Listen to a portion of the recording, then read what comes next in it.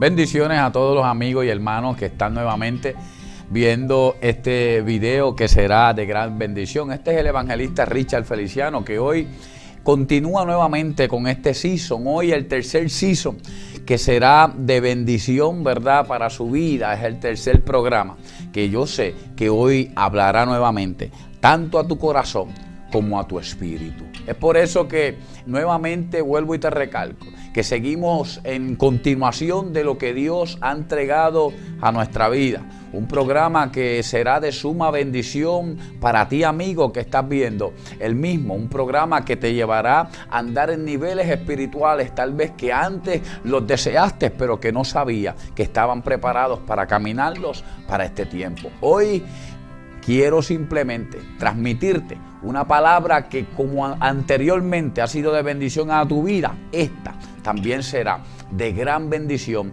a esta generación. Y quiero comenzar rápido el mismo, ya que con programas anteriores no tenemos el tiempo, ¿verdad?, expandido, sino que tenemos un corto término para poderte transmitir esta palabra que ha sido de bendición. Y quiero fundamentarla en esta historia, una historia que muchos conocemos, una historia que se trata de un joven, un joven que se atrevió a llegarse ante Jesús en el capítulo 10 del libro de Mateos, un joven que se, se atrevió a acercarse ante Jesús y hacerle esta pregunta, maestro, ¿qué tengo que hacer para ser salvo?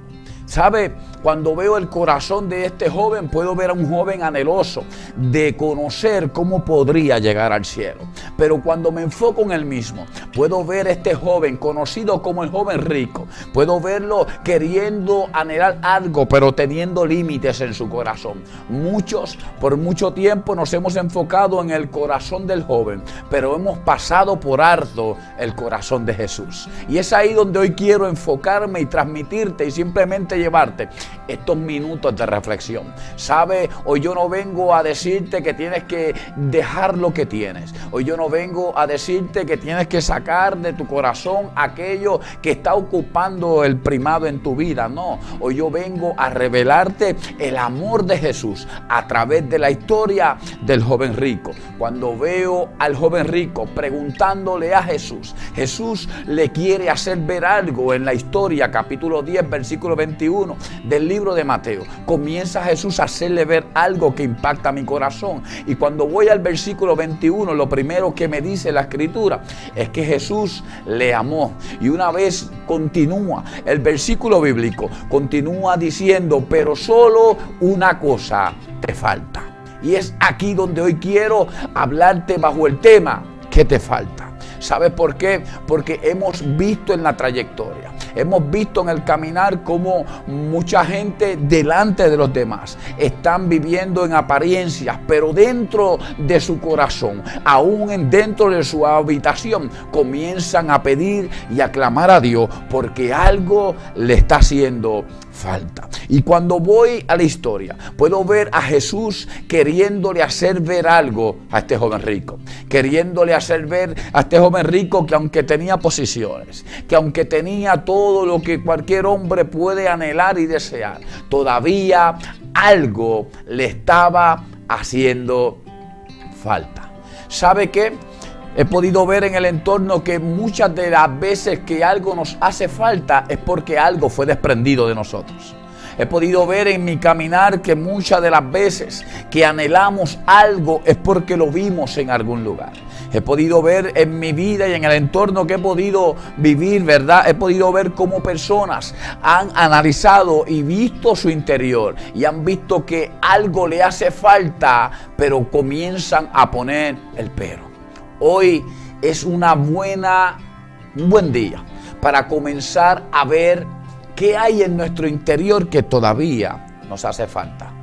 ¿Qué hay en nuestra vida que todavía nos hace falta? ¿Qué hay en nuestro corazón que sabe porque sabe que todavía algo le está haciendo falta? Hoy Jesús, cuando voy a la escritura, refleja su corazón desde el comienzo, refleja su, su, deseo de relacionarse con el hombre desde el principio. Por eso cuando voy a Génesis, puedo ver a un Dios que comienza a crear todas las cosas, según Génesis capítulo 1, versículo 10. Un Dios que ordena todo, a, a, las aguas le llama mares, a lo seco le llama tierra. Pero después de haber cavado, el, eh, haber terminado el primer día, Él dice que todo lo que hizo, lo hizo bueno. ¿Sabe? Algo impacta mi vida y es que la Biblia enseña que todo lo que Dios hace, lo hace bueno. Pero en el versículo 10, en el versículo 10 del libro de Génesis, impacta nuevamente mi vida a través del versículo 10, ahora te hablo del versículo 11. Impacta mi vida porque estoy viendo aquel Dios que creó todas las cosas, llenando y cubriendo lo que hacía falta. El corazón de Dios es revelado siempre desde Génesis hasta Apocalipsis. Y es ahí donde Dios hoy quiere comenzar a que tú veas que hace falta en tu corazón. Dios miró la tierra y vio que la tierra eh, le, le faltaba algo y comenzó a hablarle a lo que le faltaba. Y dijo en el versículo 11, produzca la tierra hierba verde, hierba que dé semilla, según su género, árbol que dé fruto, según su género. Y la tierra comenzó a dar fruto porque Dios visualizó lo que hizo y vio que algo le hacía falta. Ahora yo quiero que tú puedas autoanalizarte. Ahora yo quiero que tú puedas mirar qué te hace falta. Mirar cuál es el anhelo de tu corazón. Mirar qué ha acontecido en tu vida, que marcó tu vida y te hace falta la sanidad. Te hace falta un toque del Espíritu de Dios. Yo no sé cuánto tiempo hace que no sientes a Dios trabajar de tú a tú en tu vida, pero yo quiero presentarte un Dios llamado Jesucristo que está en la disposición de cubrir, de llenar, de restaurar aquello que hace falta. ¿Sabe? El corazón de Jesús es reflejado en esta historia. Y hoy yo quiero poder ser de bendición a tu vida porque tal vez alguien te marcó en la trayectoria. Hoy yo quiero ser de bendición a tu vida porque tal vez alguien te marcó como me marcaron a mí desde mi niñez. Tal vez alguien te dijo algo que, que te ha marcado tu interior y no te has atrevido a volver a recuperar lo que te pertenece. Pero hoy Dios quiere hacer algo extraordinario contigo. Quiere simplemente que tú mires como este joven rico, que era lo que le hacía falta. ¿Qué te hace falta? Quiero hablar contigo que me estás viendo. ¿Qué hace falta en tu vida para volver a retomar tu lugar? ¿Qué hace falta en tu vida para volver nuevamente a abrazar lo que tanto anhelas? ¿Sabe? La historia está llena de gente que tenía una expectativa altísima, aún en su condición. Conozco una mujer de un flujo de sangre que viviendo en una condición de 12 años tenía altas expectativas de que algún día podría recibir lo que le hacía falta. Fue a doctores, a médicos y tal vez hasta a brujos a poder recibir la sanidad pero lo que impacta mi vida es que ella recibe lo que le hace falta cuando se atreve a acercarse al lugar correcto. Cuando se atreve a acercarse al lugar que tú conoces. A ese lugar que hoy se te está abriendo la puerta para que vuelvas a retomarlo, abrazarlo y simplemente entender que Jesús está esperando que tú le abras tu corazón para llenar lo que hace falta. Tal vez te hace falta volver a sentir sus caricias. Tal vez te hace falta volver a sentir su manifestación. Tal vez te hace falta un abrazo de una persona, un abrazo de un pastor, un abrazo de un padre. Tal vez te hace falta la sanidad porque alguien te marcó desde muy pequeña Tal vez alguien te tocó desde muy pequeña, tal vez un tío, un padre, un hermano. Se prospasó contigo, te tocaron y tu corazón le hace falta un milagro. Tal vez alguien te disertó una palabra y te disertó una palabra que no fue de edificación y te hace falta la sanidad. Pero hoy yo no vengo a presentarte una estructura religiosa. Hoy yo vengo a presentarte aquel que me miró desde las alturas, aún en mi condición de adicción. Si hoy usted me ve aquí siendo de bendición a su vida, en algún momento reconocí que algo me hacía falta porque fui adicto por 11 años de mi vida.